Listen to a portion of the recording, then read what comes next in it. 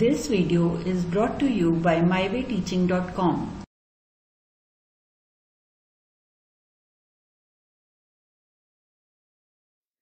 which is introduced by the Dalton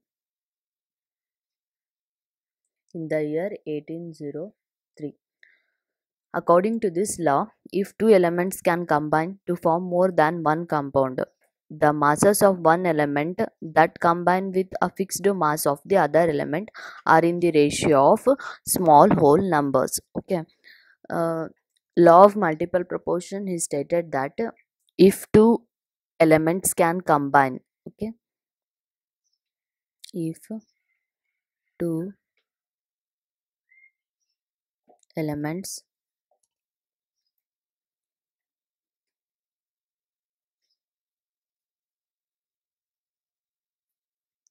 elements can combine to form more than one compound. The masses of one element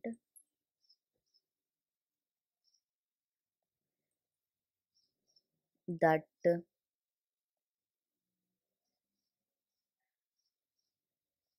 combine with a fixed mass of other element of the other element are in the ratio of small whole numbers are in the ratio of small whole numbers okay? So this is the statement. What uh, third one? Third one it is a law of multiple proportion. Third law if two or more compounds okay? Just by giving the example so that you can understand it easily. Hydrogen combines with the oxygen okay? To form a two compounds namely water and hydrogen peroxide. How? So consider this as a hydrogen and uh, when it is combined with oxygen which gives a water okay? So this is a 2 gram of hydrogen okay so when it is combined with 16 gram of oxygen so which gives a water. Water is of 18 gram. Combine this 2 gram and 16 gram. Like hydrogen and oxygen only. Here the fixed mass is 2 gram okay of hydrogen. And here 32 gram of 32 gram of oxygen. So which gives 34 gram of hydrogen peroxide.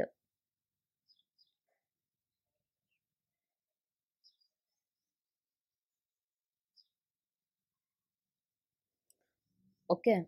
Hmm. now you just observe what i am explaining you. If two elements can combine two elements means hydrogen and oxygen are the two elements okay?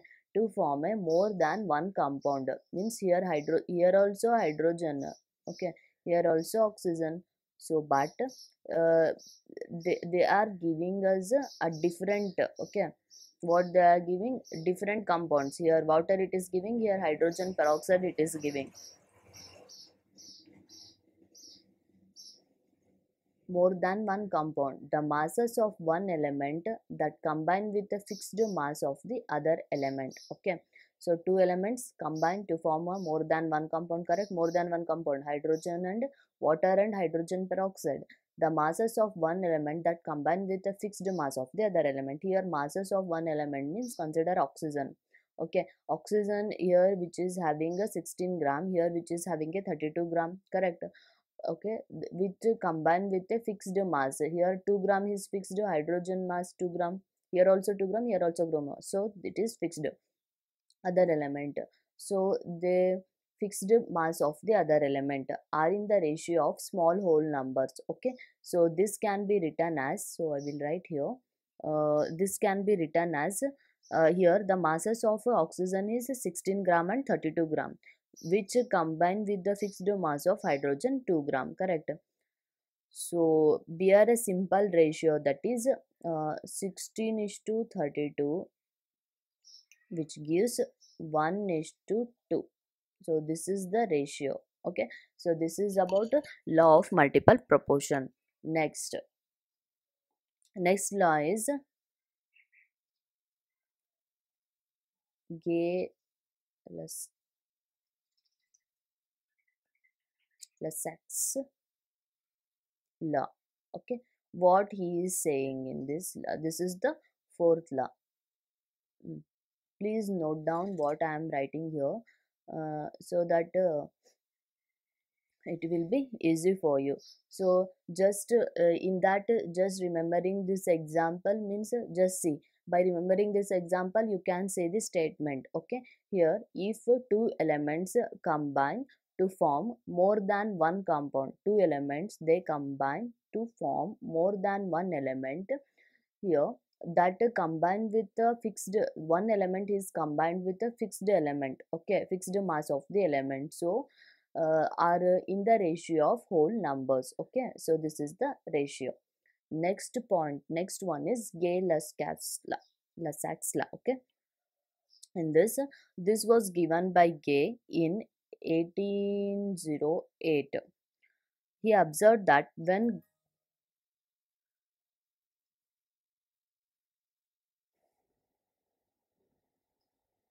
scientist gay okay he proposed and he also he proposed the law in 1808 okay his law. So he observed that when gases combine or produced in a chemical reaction when the gases uh, uh, what when the gases they are combined and produce they are combined or produced in a chemical reaction they do in a sample ratio by volume provided all gases are at same temperature and pressure okay so that i will explain you uh, how it will work. There's a 100 ml of hydrogen consider. The hydrogen which is of 100 ml okay. 100 ml of hydrogen when with uh, with combined with the 50 ml of oxygen oxygen to give a 100 ml of water which gives water is of 100 ml okay. So thus the volumes of hydrogen and oxygen which combine together.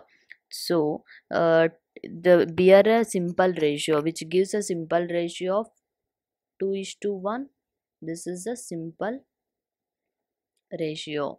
So just you should remember the uh, statement. Then he discover of uh, integer ratio in volume relationship. He is actually the law of definite proportions by volume. The law of definite proportions started earlier was with respect to mass. Okay, the Gay law was explained properly by the work of Avogadro in 1811. So this is about the Gay's law. Next here, next concept is Avogadro law. The next law is Avogadro law. In 1811, Avogadro proposed that equal volumes of gases at the same temperature and pressure should contain equal number of molecules. He proposed his line uh, in 1811.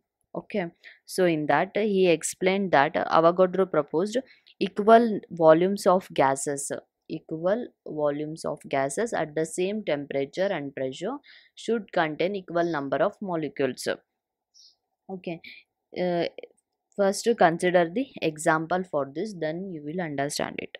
If we consider again the reaction of hydrogen okay reaction of hydrogen and oxygen. Again oxygen to produce what? Water. To produce a water uh, we see that two volumes of hydrogen combine with here see. Um, see this two uh, two volumes of hydrogen here just one volume of hydrogen and one volume of hydrogen. So that which gives a two volume of hydrogen and which combine with the one volume of oxygen. So to give it two volumes of water without leaving any unreacted oxygen in it okay so which gives it two volumes of water. Means if we consider the again the reaction of hydrogen and oxygen to produce a water we see that two volumes of hydrogen two volumes of hydrogen combine um, to give a com- uh, combine with one volume of oxygen to give two volumes of water without leaving any unreacted oxygen. So this is about avogadro law this is the statement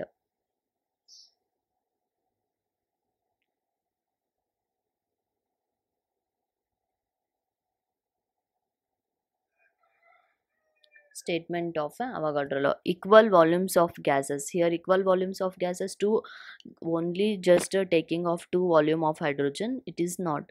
So one volume of hydrogen and here one volume of hydrogen they are taking. Equal volumes of uh, gases. Here one volume of oxygen is also taken. They are kept at same temperature and pressure. Should contain equal number of inside this it should contain equal number of molecules. So this is about the avogadro law next law is dalton's atomic theory. Okay next law is dalton's atomic theory.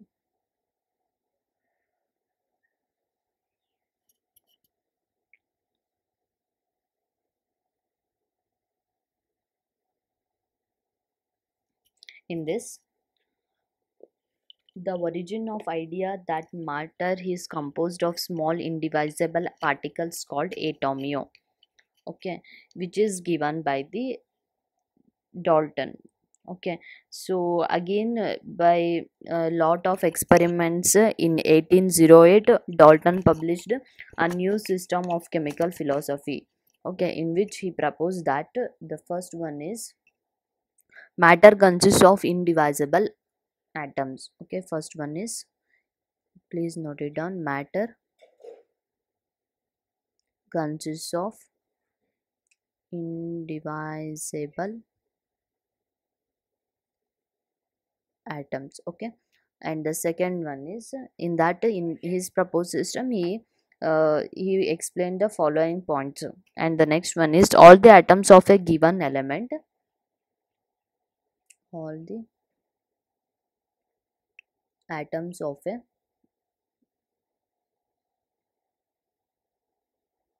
given element have identical properties. Including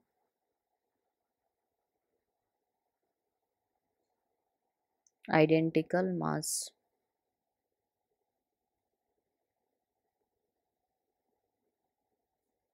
atoms of different elements differ in mass.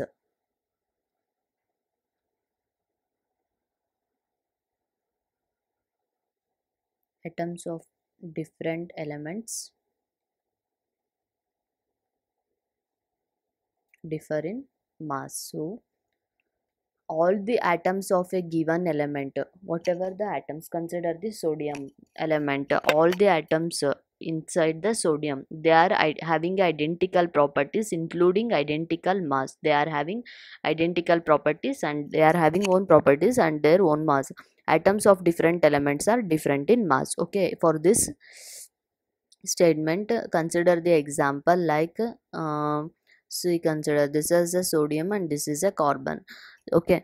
Uh, this is the element. Okay. This is also an element. In the element which is element which is made up of the atom. So all the atoms present in the sodium element is having the identical properties and identical uh, what identical properties and identical mass like carbon also having. So atoms of different elements uh, the atoms of different element. This is also atom. Atoms of different elements differ in mass. Here sodium which is having its own mass and carbon having its own mass. So this is about the second one. And the next one is third. In that compounds are formed when atoms of different elements combine in a fixed ratio.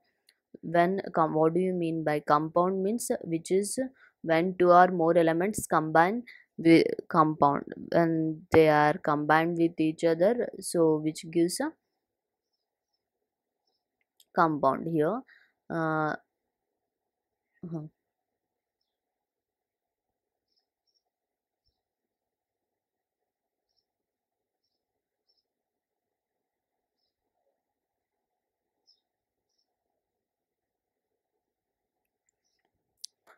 compounds are formed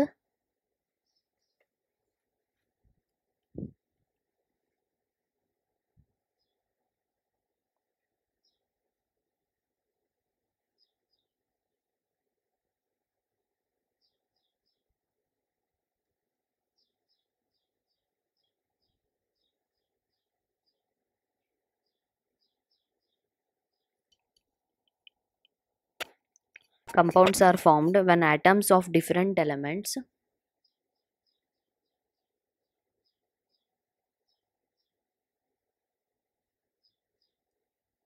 when atoms of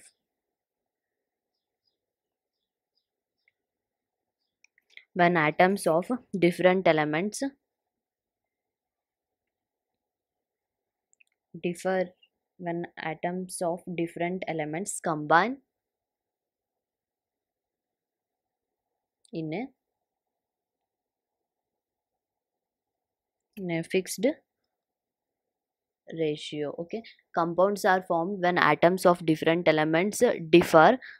Atoms of different element combine in a fixed ratio. It is not that okay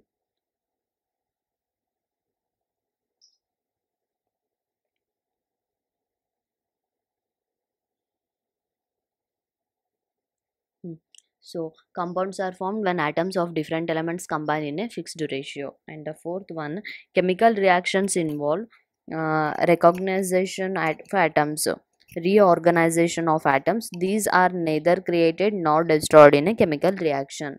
Chemical reactions involve reorganization of atoms.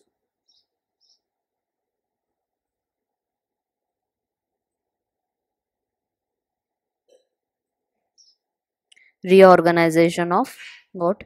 Atoms. These are neither created nor be destroyed in a chemical reaction. These are neither be created nor be.